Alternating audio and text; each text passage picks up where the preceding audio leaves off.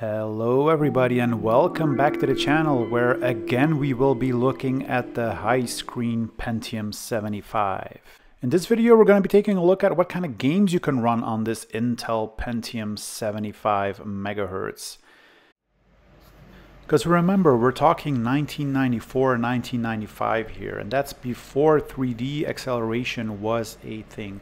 So our ATI card here will probably play second violin to the Intel CPU. But that means that we obviously need to get some games on the machine and for that I'm going to be using this little guy here which is an Intel EtherExpress Pro networking card also manufactured by Intel and I think it fits really well with this motherboard and the entire setup. It's also Intel branded. It has more or less the same look and feel. So yeah, a really, really nice match.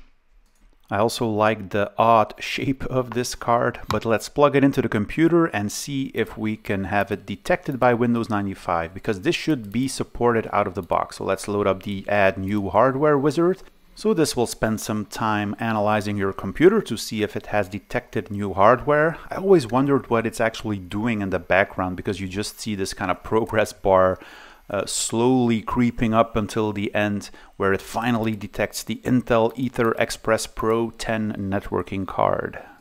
So let's continue with the networking setup.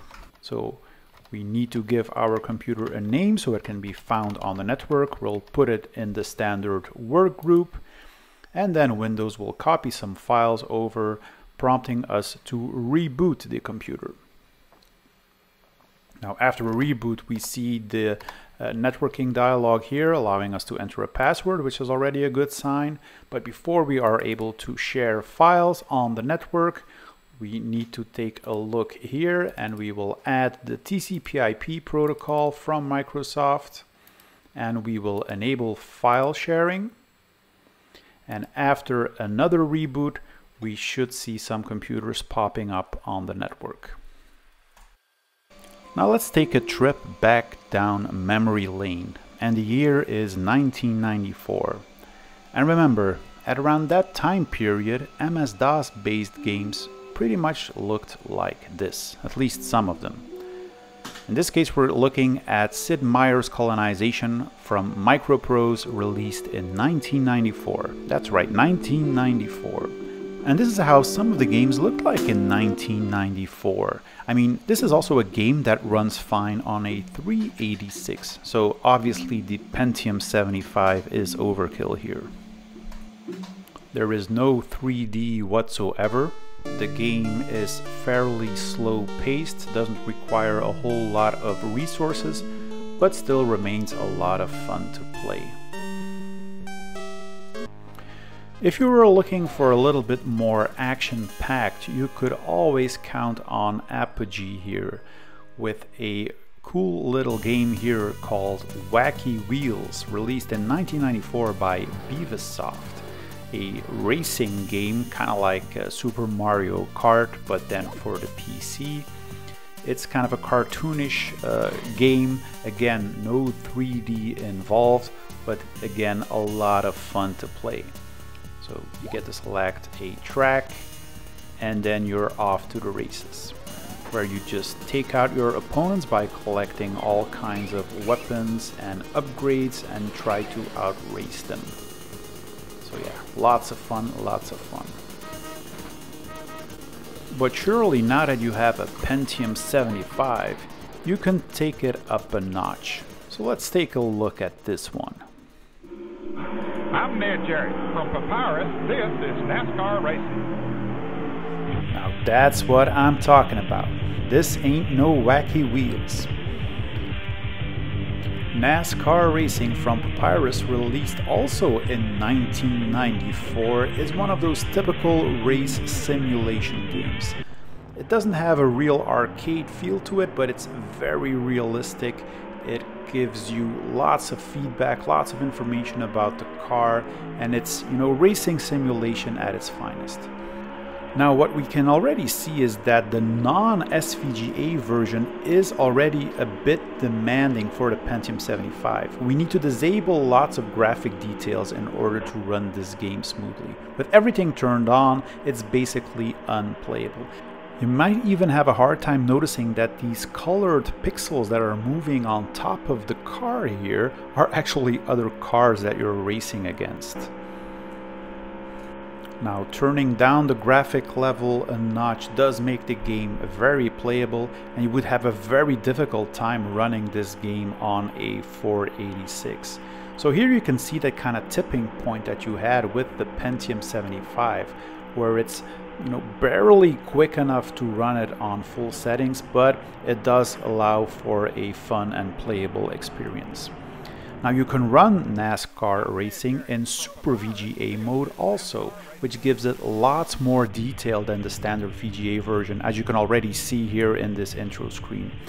With the standard uh, graphic details, it's running a lot slower, but the difference in image quality is very noticeable. Just look at the dashboard view here of the car. This is the VGA version, and this is the Super VGA version. Now again, the Pentium 75 is struggling a bit to run this game in high resolution, but if we turn down the graphics, it actually becomes playable, and this would not be possible on a 486. So this is a nice example of a game released in 1994 that is pretty demanding where you will benefit in having a Pentium. And you don't always have to run a certain PC game on a system just because you can. I mean, SimCity 2000, for example, will run perfectly fine on a 486 DX266 also, but it's just a fun game to play, and you know, the Pentium 75 just breezes through it.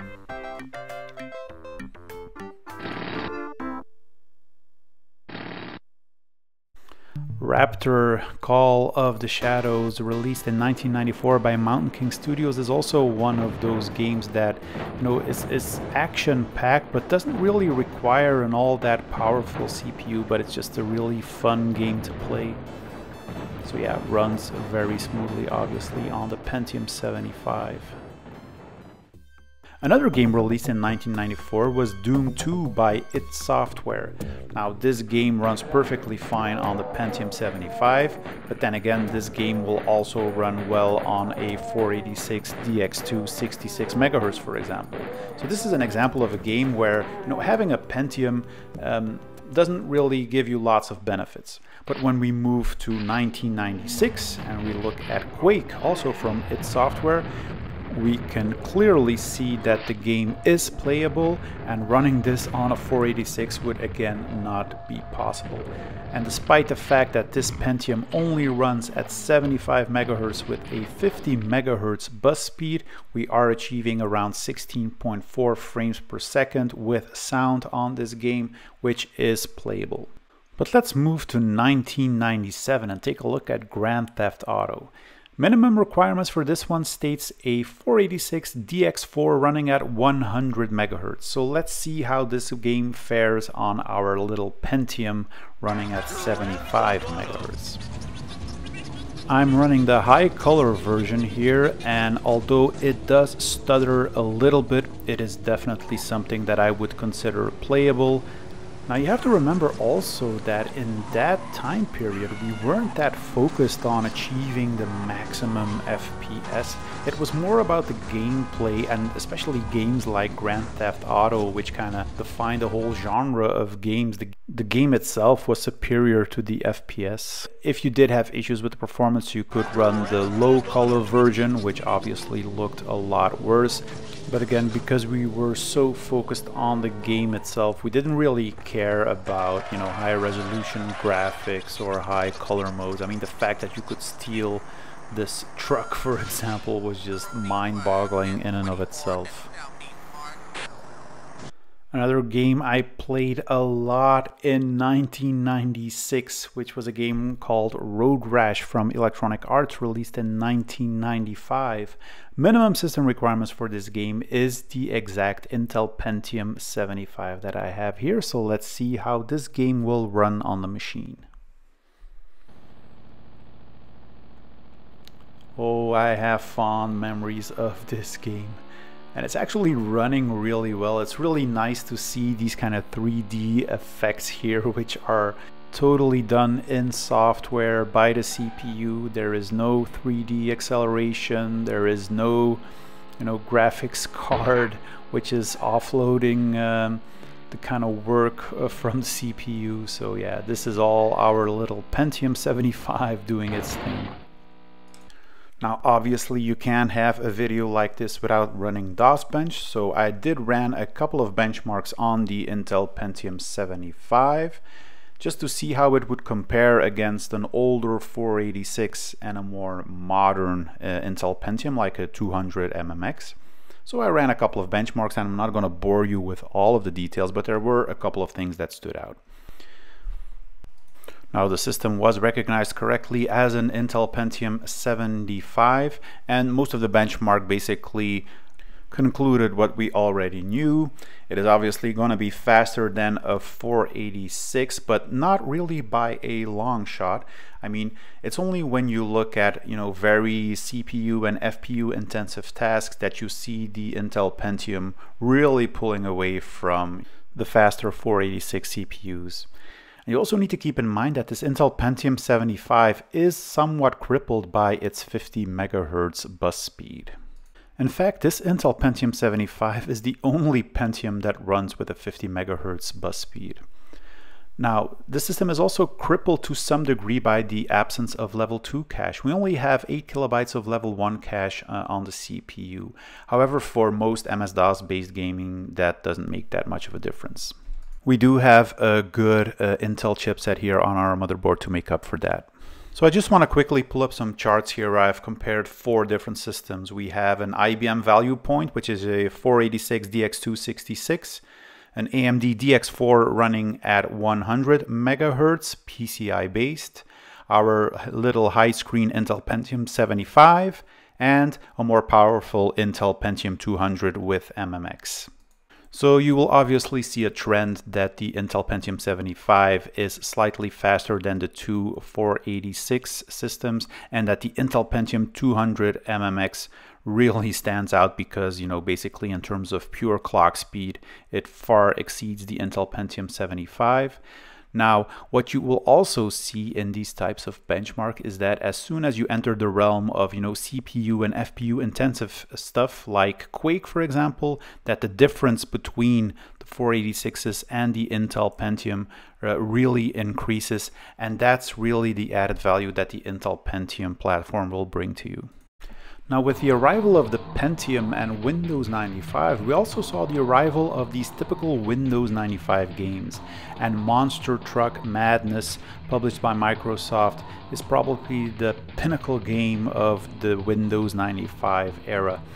So uh, this is a game that supports hardware acceleration, something that we don't have in our particular setup here but the graphics quality is basically determined by the CPU that you have so we're going to set it to the lowest resolution which should be uh, runnable on a Pentium 60 or a Pentium 75 like the one that we have. I will put all of the graphic settings to normal and then see where we will end up and again, we start the game at a resolution of 320 by 200, which was basically the standard MS-DOS uh, resolution. I mean, it's it's pretty mind-boggling to look at, you know, that type of graphical detail now in 2021. But I mean, this is how we rolled in 1995, 1996. We weren't bothered with the fact that this was running in 320 by 200. I mean, the games were such uh, you know fun to play and the fact that we were able to play this on our computer was just uh, was just crazy. Again this would not be possible on a 486 so again a good reason why uh, an upgrade to a Pentium CPU uh, made a lot of sense in that era Obviously we can play with the settings, we can even make it even uh, more smoother by disabling certain graphics effects like uh, you know textures and, and skies and clouds and stuff like that. However, if we try to run it on a higher resolution, let's say for a Pentium 166, which is basically double the clock speed, we can see that the game again turns into a slideshow and becomes totally unplayable. Now, if you like more arcade style racing games than Screamer from Graffiti, released in 1995, had got you covered. It gave you the opportunity to race these kind of exotic sports cars. It also had a standard VGA and SVGA mode. So let's take a look at this great game and see how it performs on our Intel Pentium. First thing I'm going to do is go into the options and set the details to high. So remember we're running in VGA mode now. So yeah, despite the low resolution, there's a lot of stuff going on on the screen here. We see the American football helmet spinning. We should see an airplane passing over. We have lots of cars on the screen. And you know, it's definitely not 100 FPS, but I mean, it is playable. I remember uh, playing this even on a lower spec machine it's kind of amazing how we how we uh, thought that this was kind of an acceptable frame rate but yeah you can obviously again turn down the graphical detail so we can put it in low detail and that will give us an extra frame or two per second but the difference is minimal. As you can see there's less stuff going on on the screen. The American football helmet is gone. We don't have any planes passing by. So yeah, that gives us the additional frames per second. I think the uh, the line of sight is also dramatically reduced, but yeah, makes up for a better uh, gaming experience. Now launching the Super VGA version of Screamer immediately shows that our little Pentium 75 will be struggling if we just look at that uh, intro uh, here. yeah, it will be very difficult. We have it on the high settings, but you know, as soon as we start it, it's just unplayable. And that's the problem with these kind of more demanding games that uh, if, if you can't tone down the graphical settings, like in this case, you can only set it from high to low, that's basically it. But even with the low details, the, the game is still far too demanding for this Pentium 75. Another great racing game is Formula One Grand Prix from Microprose, released in 1992. I didn't even realize it was that old. So let's load up the Belgium Spa track here and let's do a little race. So keep in mind that this was released in 1992, so you would typically play this on like a 486 DX266 maximum. So yeah, you would have a hard time uh, running this game with all of the details. The Pentium 75 handles it really nicely. We have you know most of the graphical settings enabled. We have a pretty smooth uh, frame rate. There are no slowdowns. This is also one of those games that doesn't drop any frames. You know, if your CPU is unable to to, to handle everything, it will just slow it down and you get this kind of slow motion racing effect. And there's also an option in this game to uh, put it in high resolution or SVGA mode. And the Pentium 75 is able to run it in that mode, albeit uh, with some of the graphical settings uh, toned down a bit but it's definitely playable and the graphics are remarkably better obviously in SVGA mode. Now all in all I've enjoyed my time with the little HighScreen Pentium 75. I had forgotten how humbling of an experience it is to kind of work with a low-end Pentium system like this, you know, copying files from the network, just seeing how long it takes to copy a 20 megabyte file. Seeing how long it takes to extract a 3 megabyte zip file using the iconic WinZip application.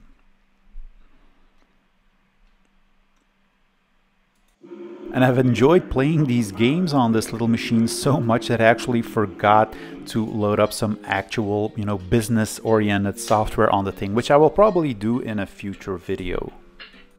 Now, one of the other things that I would also like to cover is to see how much of an impact another video card would have on the system. What would happen if we added an S3 Trio 64, for example, or this Diamond Stealth 64 PCI card also with an S3 chip?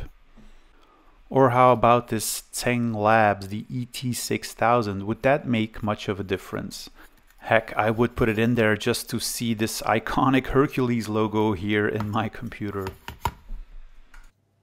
Or what if we swap out our Intel Pentium 75 for this little Intel Pentium 100 MHz CPU? Would a 25 MHz speed bump make a lot of difference for these games?